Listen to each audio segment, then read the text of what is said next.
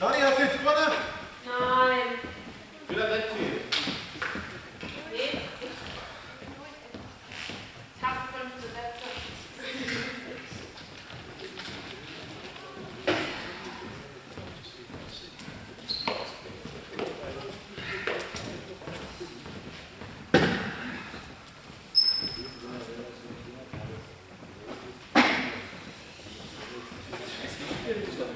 Wir schalten ganz kurz in die Werbung und sind in wenigen Sekunden wieder zurück.